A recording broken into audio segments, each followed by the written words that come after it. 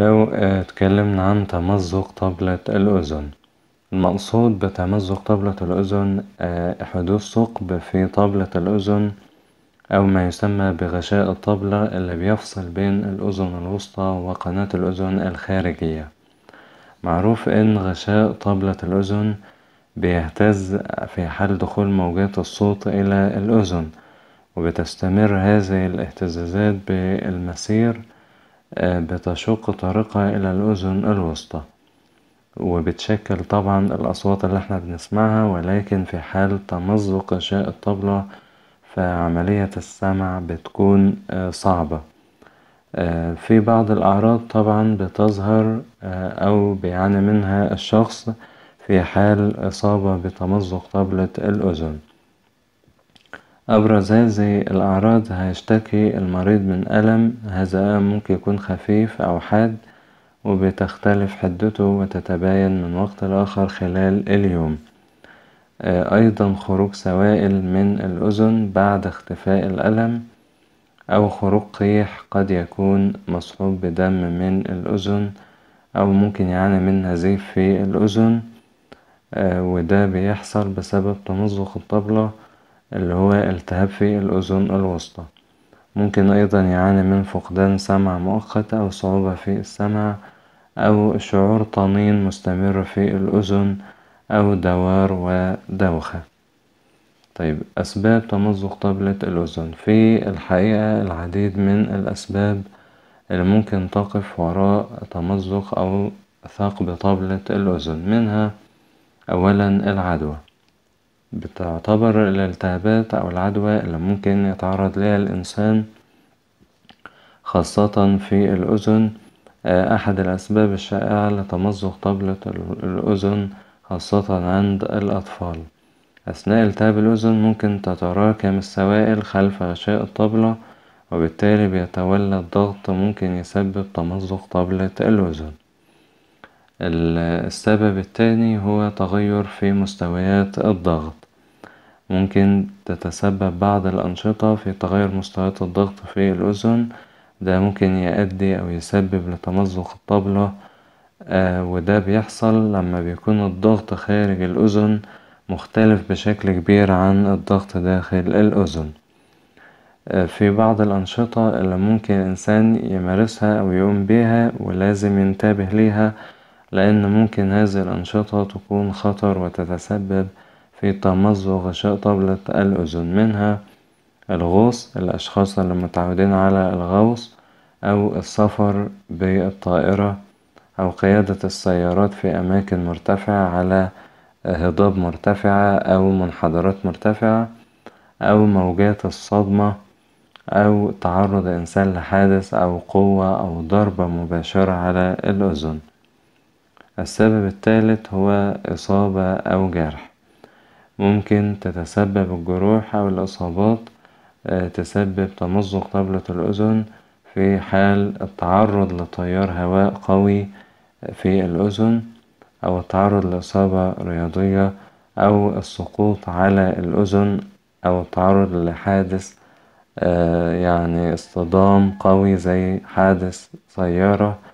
أو ممكن يعني موضوع مهم أوي وهو إدخال جسم غريب في الأذن ممكن يسبب تمزق طبلة الأذن وينبغي الانتباه لهذا الأمر لأن هذه المشكلة بيعاني منها كتير وبتصيب كثير من الأشخاص نتيجة قلة الوعي.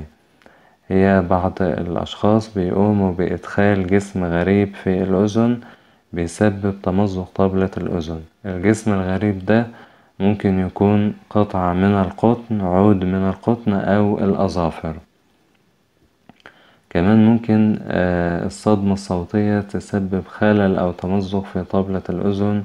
في حال تعرضت الأذن لصوت عالي ممكن يؤذي طبلة الأذن. لكن إن كانت هذه الحالة نادرة الحدوث لكن تظل من الأسباب. بالنسبة لتشخيص تمزق طبلة الأذن في العديد من الطرق ممكن يلجأ ليها الطبيب علشان يشخص هذه المشكلة زي الطبيب بيفحص عينة من السوائل اللي بتخرج من الأذن المصابة أو بيقوم بالنظر بواسطة منظار ضوئي إلى داخل الأذن أو بيقوم بعمل اختبار فحص السمع لمعرفة مدى كفاءة عمل الأذن المصابة أو اللي بيشتكي منها المريض. أو إجراء مجموعة من الفحوصات للأذن والأنف والحلق. ممكن طبعا يحتاج الأمر لفحوصات أخرى. ممكن يحتاج إلى أشعة عشان توضح المشكلة بصورة أدق ويقدر بالتالي يحدد السبب ويعالجه.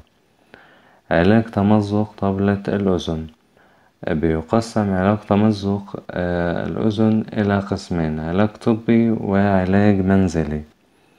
العلاج الطبي طبعا الهدف من العلاجات الطبية تخفيف الألم منع حدوث عدوى والعلاج الطبي ممكن يشمل الخضوع لعملية جراحية أو تناول أدوية الخضوع للعملية الجراحية دي عملية بيتم فيها ترقيع الغشاء الممزق لتحفيظ الطبلة على إن هي تعيد بناء نفسها وده في حال لم تشفى طبلة الأذن الممزقة لوحدها لأن بعض الحالات لو تمزق بسيط ممكن بيلتئم مع مرور الوقت وبالتالي بتعود الأمور لطبيعتها.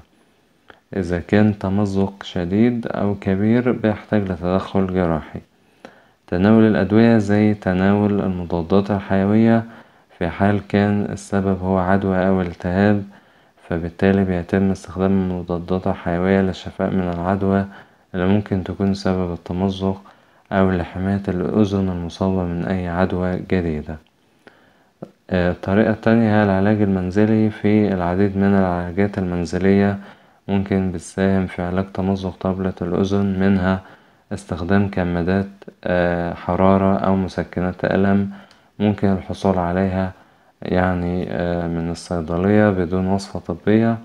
في حال طبعا الألم كان شديد بيتم استخدامها لتخفيف الألم الناتج عن تمزق طبلة الأذن وإن كان يفضل طبعا يكون تحت استشارة طبيب ممكن أيضا يتم نفخ محتويات الأنف للخارج ويتم تكرار هذا الأمر خلال اليوم أو يتجنب الإنسان فعل ذلك تماما يعني الأمر بيتوقف على طبيعة الحالة. هل الإنسان بيشعر بالراحة لو نفخ محتويات الأذن للخارج أو لو إن هو لو قام بهذا الأمر بيشعر بألم شديد فبالتالي بيتجنب هذا الأمر. طيب بننوه أيضا وبنشير لضرورة تجنب استخدام أي نوع من قطرات الأذن المنزلية دون الرجوع إلى الطبيب. بالنسبة لفترة التعافي من تمزق طبلة الأذن في العادة في الوضع الطبيعي ممكن تحتاج طبلة الأذن لعدة أسابيع علشان يحصل الشفاء التام وغالبا بيشعر المصاب بفقدان مؤقت للسمع إلى تمام الشفاء الكامل بتعود الأذن لتعمل بكفاءة من جديد.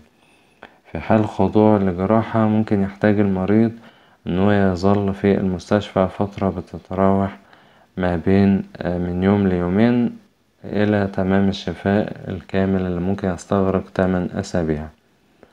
آخر حاجة بعض الأمور والطرق اللي ممكن الإنسان يلجأ ليها أو يقوم بيها تجنبه أو تقيه من تمزق طبلة الأذن منها. مهم جدا الحفاظ على جفاف الأذن لمنع حصول أي عدوى أو الالتهاب. وضع القليل من القطن وبلطف ولكن في قناة الأذن الخارجية وليس محاولة إدخالها بقوة للداخل والهدف من القطن هو منع دخول الماء. أيضا تجنب السباحة في حال كانت الأذن مصابة سواء بالتهاب أو عدوى حتى يتم الشفاء تماما. تجنب أيضا المرتفعات أو ركوب الطائرات إذا كان الشخص مصاب ببرد أو عدوى في الأذن. مهم أيضا استعمال سدادات الأذن أو مضغ اللبان أو العلكة لمعادلة الضغط في الأماكن اللي بيختل فيها الضغط الجوي تجنب تنظيف الأذن باستخدام الأعواد القطنية اللي هي للأسف منتشرة بصورة كبيرة بين الناس ومعظم الناس بتظن أن هذا الأمر جيد ولكن بالعكس بيسبب مشكلات للأذن بيسبب انسداد الأذن بيسبب رجوع الشمع مرة أخرى لداخل الأذن وتصلبه وتراكمه. وبالتالي فقدان السمع وحدوث التهابات فمهم جدا تجنب استخدام الأعواد القطنية لتنظيف الأذن أو تجنب إدخال أي جسم حاد داخل الأذن. ده كان أهم المعلومات حول مشكلة تمزق طبلة الأذن الأسباب والأعراض والعلاج وطرق الوقاية. في النهاية بنتمنى السلامة للجميع ونلتقي بإذن الله على خير في فيديو جديد وموضوع جديد.